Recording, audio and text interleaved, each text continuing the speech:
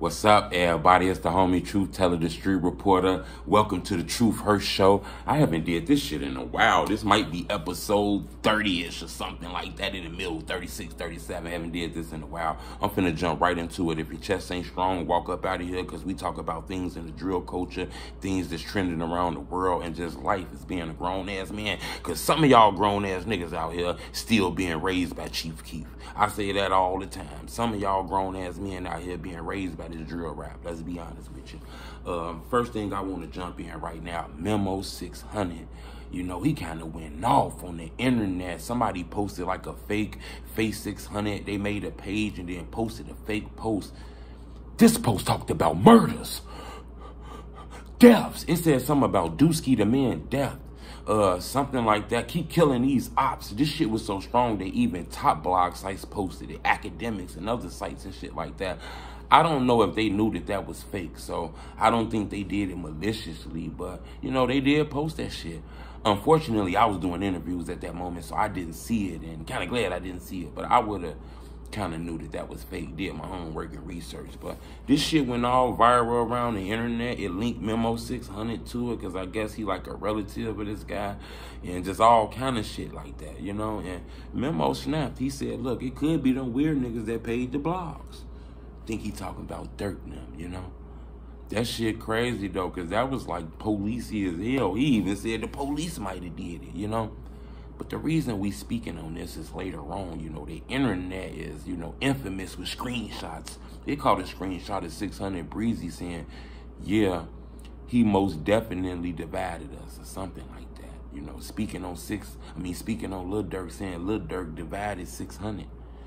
That's crazy. It also caught him saying something like, people stole our swag, the way we dress, they stole LA style, all kind of shit you know. Kind of felt like he was still talking to Breezy, you know. And then Memo 600 today, early in the morning, posted something about they can't divide us with the Team 600 logo, you know.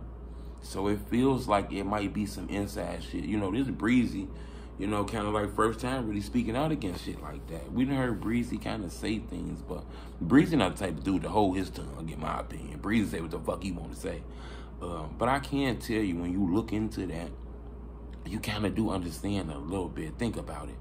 The whole thing with like L.A. Capone and Rondo number nine, those guys were 600 till Durk got his hands on them and kind of confused the situation. Is they OTF? Is they 600? What, what's going on with that? With L.A. Capone, you know, end up losing his life due to gun violence. Did Durk drop the family off a big bag of money?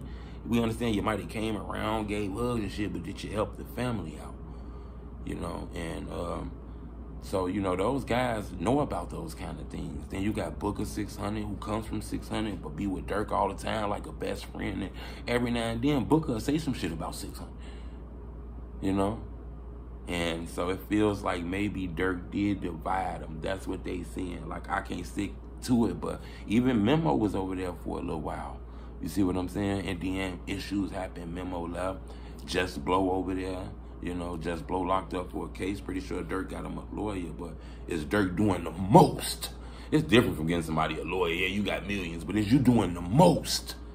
You know, so I can understand how, you know, Breezy and Memo might feel like that. Remember, those guys are homies. They smoke blunts, they kick it when they hang together. I'm pretty sure these guys have conversations, you know, so that just opened up the door to letting you know inside turmoil. It's beef inside these camps.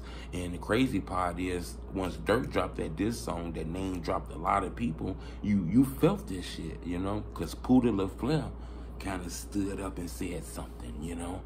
Uh, we've been hearing Muda, THF Muda, been saying things, you know, about situations, feeling like he been there for Durk and was with him and did things for him and all kind of shit. And then nigga just left him hanging the dry. Puda feel the same way. You know, he kind of said something about when Lil Zay got that chain. Then he was saying something, yeah, we heard the song, we heard you, we heard you. You know, he even said, fuck them niggas. I don't think this is real beef. Niggas hate each other, but people feel like, you know, it's a lot of blunts with smoking, okay? It was a lot of huff bags when the nickel weed was out. It's a lot of $4 sacks with smoking on porches while niggas was freestyling, kicking it, showing brotherhood, saying, man, when I get on, I'm taking all my niggas with me. Y'all niggas, y'all niggas, and then nigga got on and didn't take nobody with him. So, you know, that's a little deep. But I ain't gonna lie, I think a few phone calls can fix shit like that. But it's crazy, the internet watching everything, the whole Face 600. I think we didn't got to the point where we realized that's not real. So, you know, shit get crazy, man. I'm looking at some of my notes to see what we gonna talk about. That shit crazy though, man. Another thing is, man, stop letting the motherfuckers send you off and give you bad ass advice. Stop taking advice from fuck niggas and fuck bitches. I tell people that if you're gonna take advice, take that shit from somebody honorable. Don't let nobody send you off. It's a lot of bitter people out here that hate to see you doing better than them, so they'll try their hardest to put you on the same level as them. I tell people this shit. A hater will knock a real nigga down to his level and then defeat him down there. You feel me? You a real nigga. You not a hater. So once he drop you down to that level, he gonna defeat you.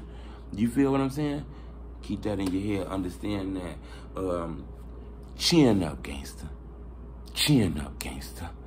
You knew that love wasn't real. Fuck all that crying. Fuck all that whining. You don't gotta send up one more text. You know what it is. Chin up, bro. You had to know it wasn't real. It was your turn.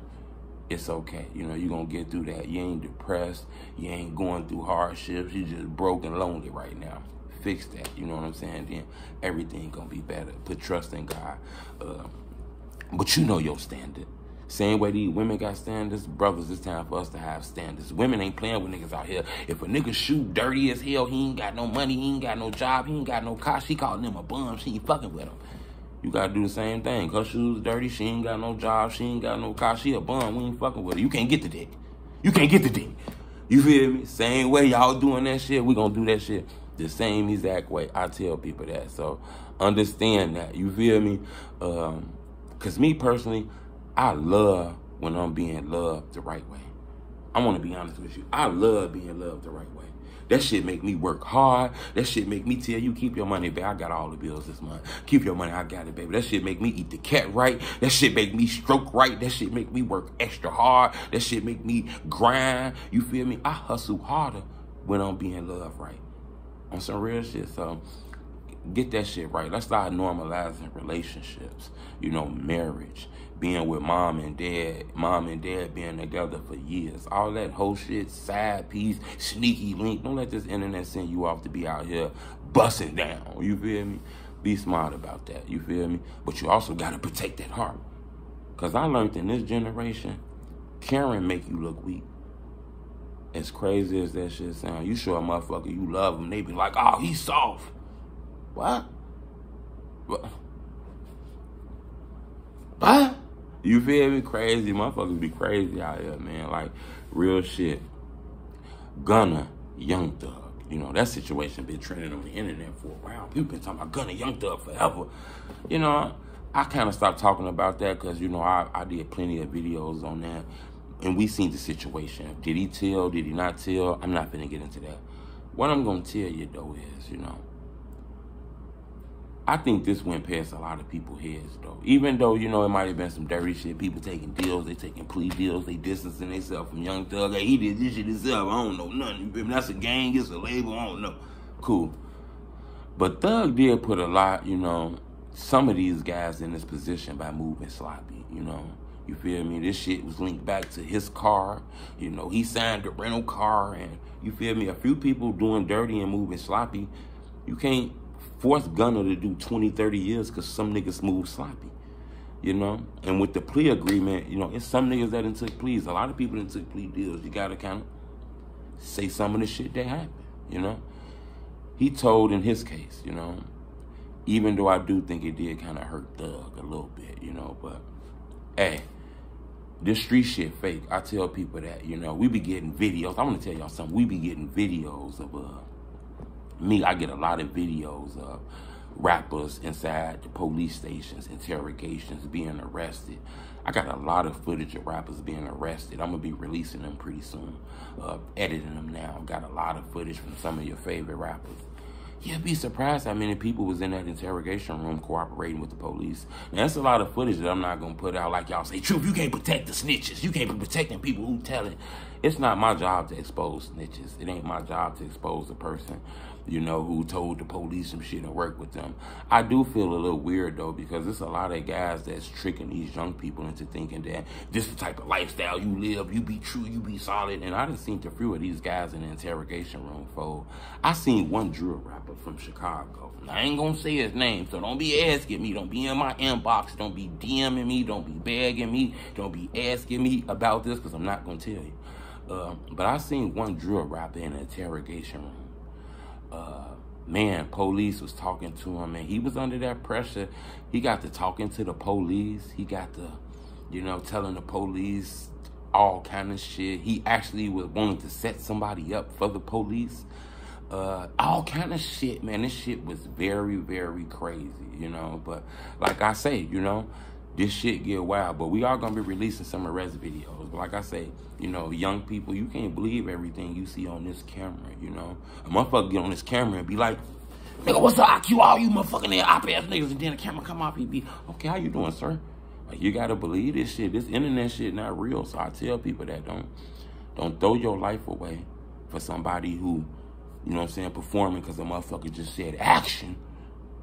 Be smart about this shit, man. Uh, that's I'm gonna say. Be very smart about this shit. But I'm gonna be dropping a lot of arrest videos from some of your favorite drill rappers that's gonna be dropping soon. And you know, some of these guys are who they say they are, you know, and some of these guys are still who they say they are. They was just in a position where they're gonna be doing a lot of time. And I tell people this shit, you know. You ever seen the guy, he got 50 tattoos on his neck, all the tattoos, he got all his kids' names and you know what I'm saying? He always be with his kids, he love his kids, he done did some shit and got locked up. You think nigga finna do 50 years for you? You see how much he love his kids, your ass finna go to jail. So that no snitching shit is fake. You feel me? People are telling your ass out here. I learned that. You put a motherfucker in that room, he facing 50 years, never see his kids again, never get no more pussy, never get no money, don't eat right again. That should have changed the snitch rules. You feel me? But what y'all talking about, man? Somebody asked me, True, how do you know who you pick to be with forever in your life? How do you know who's the right one? How do you know if this the right husband, if this the right wife? Shit, I don't know. I ain't a life coach, but if I was to give you some advice, my best advice would probably be whoever bring you the most peace, that's who you roll with. You feel me? That's your people. You feel me? When you was fucked up, you ain't had no money, you couldn't buy the steak and shrimp, you feel me? You couldn't buy the SB dunk, she had to get some Pumas and she was still there for you. That's your people. You feel me? Same way for the young ladies. If you ain't got a lot to offer, this to the women, because I'm going to tell y'all this same shit. I heard this shit from somewhere, and I kind of want to tell to the younger crowd, you know? To the women. If you ain't, you know what I'm saying, really got a lot to offer, you know, besides our heart and, and being a good person. That's what most humans got to offer too, your jobs and money too. But I just want to say, I don't want this to come out shiesty, but, you know, you ain't got a lot to offer. You ain't working. You got 50 kids, uh, you know what I'm saying? You, ain't in the best shape. Yeah, you feel me? Uh, attitude ain't really that good. You got six baby daddies. You know, the man you with probably didn't settled. You know, he see the love. You know, he, he see potential in you, but you know what I'm saying? He he settled. You know what I'm saying? You be acting like you settled, man. I settled for him. He he he treat me right, so I'm off the table. I'ma just settle with him. Shit, he settled with you. You got eight kids, all kind of shit. Like he love you for you. You get what I'm saying? That's not a diss. He love you for you. You got eight kids. You don't got no job. You got a badass attitude. You know what I'm saying? You always bringing negativity to him, but he's still going out on you on your birthday. You feel me? He making a big deal out of Christmas for you and your kids and all kind of shit. You feel me? That's the nigga you roll with. Straight up. So just tell people, stop trying to use people out here. I'm tired of all you using ass people, man. But that's it I wanted to talk about, man. I ain't did that in a while. You know, when I talk about some real life shit too, I got some dope interviews finna be dropping. Yesterday I did an exclusive interview that kind of threw me off. I say, what the fuck? This shit crazy. I did an interview uh, with MBK Twins, dope ass interview.